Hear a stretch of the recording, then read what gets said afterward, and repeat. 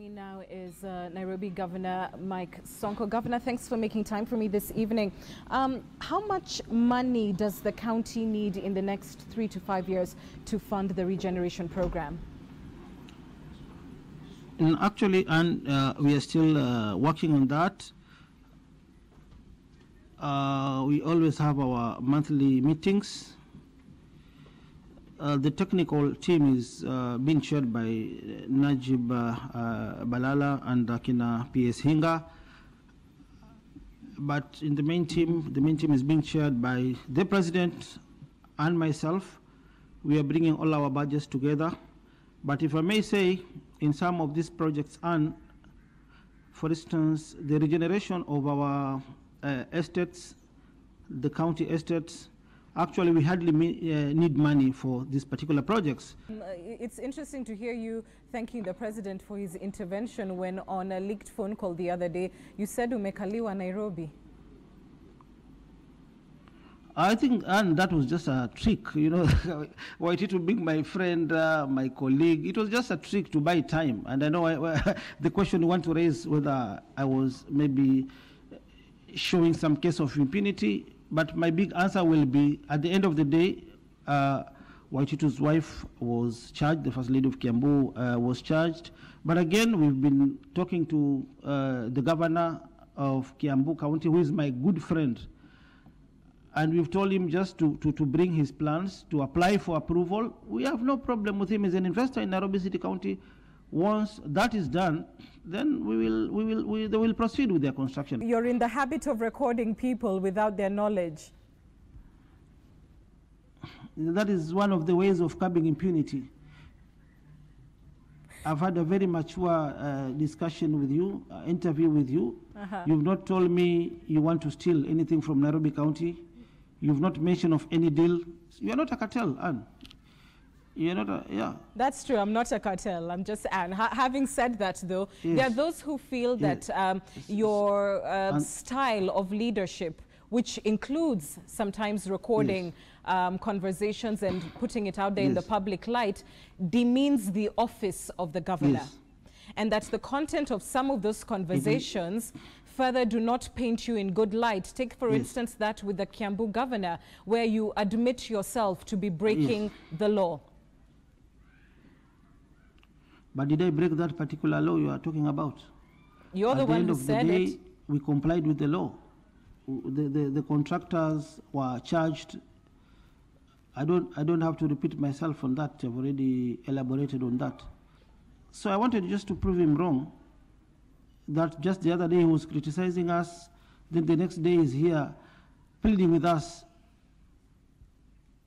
Okay, Governor. to uh, release maybe his wife and block the arrest of his contractors who had no approvals to, to repair his buildings within the city. Back and forth throughout your administration, there seems to have been this tug of war with national government, with you seeming to say you are not comfortable with the amount of influence that they were exerting on the way Nairobi should be run. It seems right now that you're thankful for their intervention. I've never had any problem with His Excellency the President. Actually, he's been supporting me. And uh, you know the kind of government and we inherited from uh, uh, my predecessor.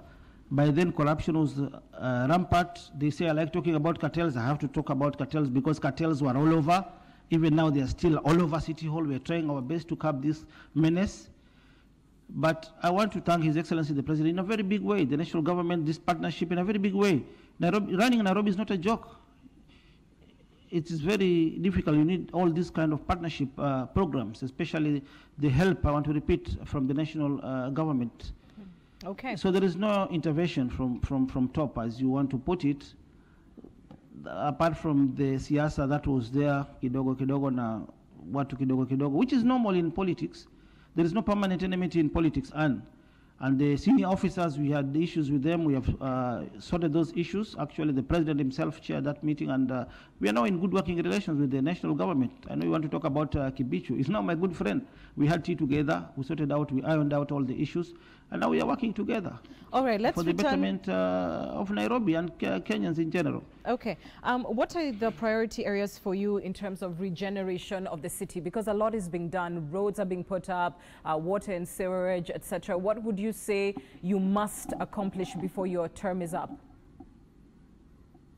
I've come with a with a, with a, with a permanent solution to this uh, garbage uh, problem, whereby after putting this giant recycling plant in Dandora, uh, garbage will be sold. We'll be buying garbage from the youth, from the estates, and uh, use it as a raw material Speaking in of uh, Dandora, Governor, uh, uh, program. I beg your pardon. To, speaking Yes. of Dandora and, and um, the issues around that dump site, part of what it has fostered is a great deal of criminality. Okay. Uh, number one, all these criminals, all these youth, they, they are going to be employed because one of the conditions we are going to maybe uh, put in our uh, partnership agreement is that the, the, the, the, the, the, in- the particular investor who is going to win the tender has to consider uh, this youth. We have to employ them. And again, security wasn't devolved, but as a county, it's our responsibility to partner with the national government, with the police, and ensure that there is sufficient security in Dandora. Okay. Another thing uh, which I've said, because we want to maintain the status of our great city of uh, Nairobi, the boda boda menace and the hawkers menace. We know the hawkers voted for me, uh, boda boda operators voted for me.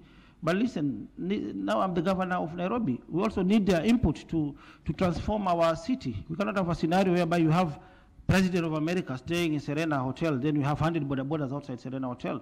That one, we can't allow it uh, to happen anymore. Otherwise, people will say Nairobi imeenda kwa chokora, inakuwa run like, like a chokora uh, government. That one will not uh, allow it uh, to happen anymore. How has the lack of a substantive deputy affected your work?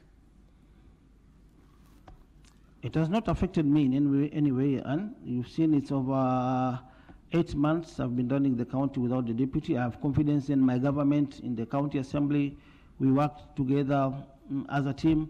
However, I've shortlisted uh, four names, as you've mentioned, um, in consultation with the party leadership, with the President of the Republic of Kenya, the Deputy President, uh, DP, I mean, I mean, I mean the, the, the Jubilee uh, leadership,